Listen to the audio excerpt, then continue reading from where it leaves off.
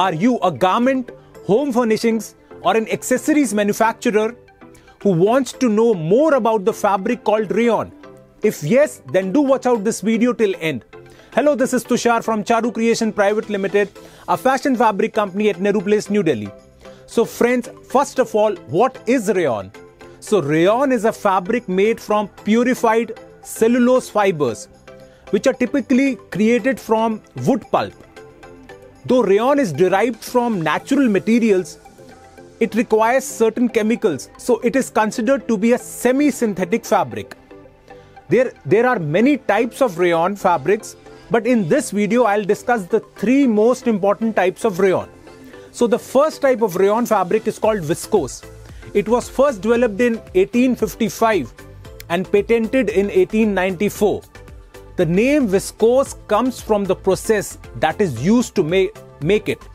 At one stage, rayon is a viscous, honey like liquid that later settles into a solid form. So, viscose is really soft and has a silken touch. This fabric is used for most applications for which cotton is used. Whether it is dresses, shirts, or pants, Rayon is used to make a wide variety of different articles of clothing. And this fabric may also be used to make household items like towels, washed clothes, or tablecloths. But it has some shortcomings too. It is re- really weak when it is wet.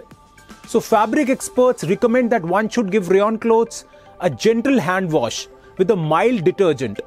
It is advisable to use cold water for washing rayon. Even dry cleaning of the garments made out of viscose is recommended. The second type of rayon is called HWM or high wet modulus. It is, it is popularly known by the name of modal. This type of rayon was particularly developed to conquer the weakness of viscose fabric, which becomes weak on being wet. So, modal was developed in Japan in 1951. So, like viscose, it is extremely soft but unlike viscose, it is strong even when it is wet. Modal rayon is generally more lightweight than viscose rayon and it is also more breathable, which has prompted this fabric's popularity in sportswear. Modal rayon wicks sweat effectively. It is easy to clean and it is also surprisingly durable and long lasting. This type of rayon is also a popular fabric for bed sheets due to its high moisture wicking abilities. It is common to see this fabric used for yoga pants, bike shorts, and even swimwear. As compared to cotton, modal rayon is highly resistant to piling. The third type of rayon is called lyocell.